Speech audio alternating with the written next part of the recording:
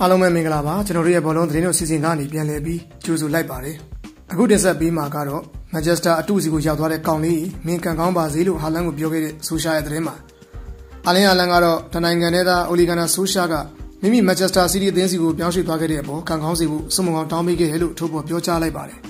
အသက်22နှစ်အရွယ်ကစားသမားကပြီးခဲ့တဲ့လကမှပရီးမီးယားလိချန်ပီယံအသင်းစီကိုပေါင်50တန်းနဲ့ပြောင်းရွှေ့သွားခဲ့သူပါနော်ဝေဒုတိယရန်ကလပ်ဘရိုက်သန်မှာ 15နှစ်သားအရွယ်နဲ့ professional ကစားသမားဘဝကိုစတင်ခဲ့တဲ့ဟာလန်အတွက်ဒါကအကြီးမားဆုံးစိန်ခေါ်မှုတစ်ရပ်လည်းဖြစ်ပါတယ်။ Brian တင်မှာကစားပြီး6လကြာမှာသူကဆိုရှယ်ခိုင်တွင်နေတဲ့ပရမာဒန်ကလပ်မိုဒီအသင်းစီကိုပြောင်းရွှေ့ကစားခဲ့မှုတာဖြစ်ပါတယ်။ဒါကြောင့် United ကန်တွင်ဆိုရှယ်ကသူ့ရဲ့တပည့်အောင်ဟာလန်အနေနဲ့မန်စီးအသင်းစီကိုပြောင်းရွှေ့သွားတဲ့အပေါ်စုံမုံကောင်းတောင်းပေးခဲ့ပြီးမြဲစကန်နာတော့ထိုးသွားခဲ့သေးတာပါ။မန်ချက်စတာညနေခင်းသတင်းဌာနနဲ့အင်တာဗျူးမှာဟာလန်ကကျွန်တော်စီးနဲ့စာချုပ်ချုပ်ဆိုလိုက်တော့သူက congratulation လှမ်းလုပ်ပါတယ်ပြီးတော့ပြောသေးတယ် မန်ချက်စတာရဲ့မှားယွင်းတဲ့အချမ်းမှာကန်ကောင်းပါစေတဲ့ကျွန်တော်တို့မကြာခဏစကားပြောပြကြပါတယ်